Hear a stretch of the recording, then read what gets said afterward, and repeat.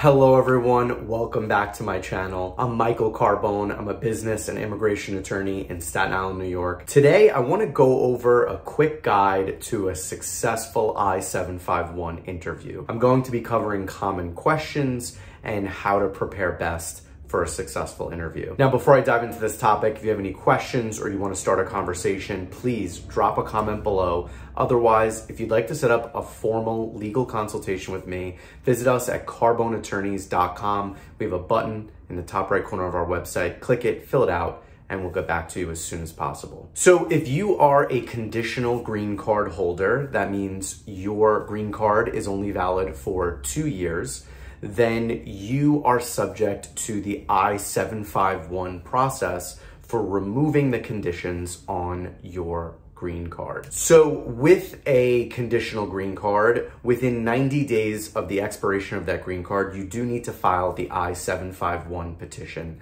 to remove the conditions on your green card so that you can get a full 10 year green card. In this video, I'm gonna go over some tips common questions that are asked at the interview and how to best prepare. So the first point to mention in this quick guide is understanding how USCIS conducts the I-751 interview. So for the I-751 interview, you will either be interviewed together, meaning you and your spouse, or the USCIS officer will interview you separately. In a separate interview, the USCIS officer will separate the spouses and ask the first spouse one set of questions.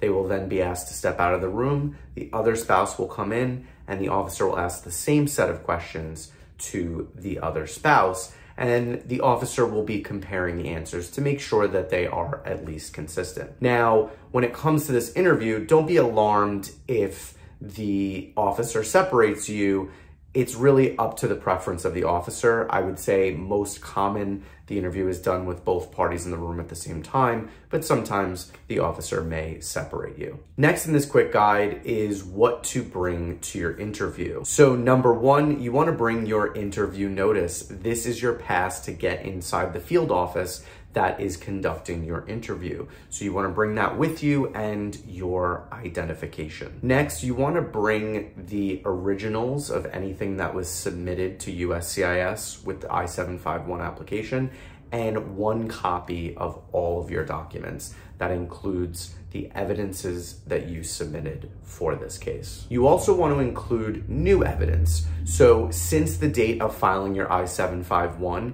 new pictures, new bona fides of your marriage, maybe you've opened new joint bank accounts, maybe there's new insurance policies, anything new that has occurred since you've filed the I-751, you wanna bring copies of that to the interview to provide to the officer. Next in this quick guide is just going over some common questions that could be asked at this interview. So the USCIS officer is going to focus on different aspects of your relationship. So they're gonna discuss the beginnings of your relationship, your engagement, the, the marriage, ceremony, reception, etc., as well as uh, aspects of your life together. So what could these questions look like? You should know the answers to these questions. It might sound like, how did you first meet? Where did you go on your first date together? Who proposed to who? What happened after the proposal? Was there an engagement party? Who attended the engagement party? When was it? Where was it? When was the marriage ceremony? Was there a reception? Who attended the wedding?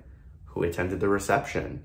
What do you do on holidays? How do you spend time together on the weekends? What are your spouse's parents' names? Does your spouse have any siblings? What are their names? Does your spouse have any children? What are their names, dates of birth? Anything that could possibly be asked about your relationship, the USCIS officer is going to ask. Now, the questions usually are not complicated and there isn't a set number of questions that the officer might ask. They could ask you five questions, they could ask you 25 questions. It's really up to the officer to ask the questions that they want based on the documentation that was submitted. If you have a very well documented case, meaning you have enough photographs, you have enough evidences, affidavits, etc., they'll probably have less questions to ask. Whereas if your case is not well documented, you can expect probably a larger number of questions about your relationship. And lastly, in this quick guide, you want to organize all of the documentation that you'll be bringing to the interview in a way that is easily accessible by you. So go over everything with you and your spouse.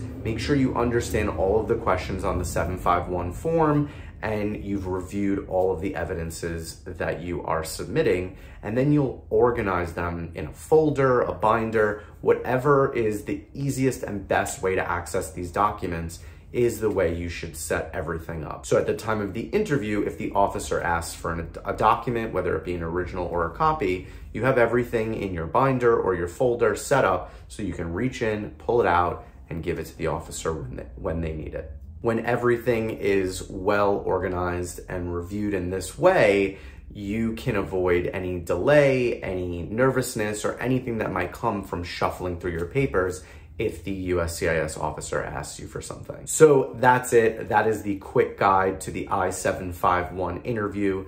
These are just some preparation tips and common questions that could be asked. If you like this video and you wanna see more, please like, subscribe, and I'll keep making them.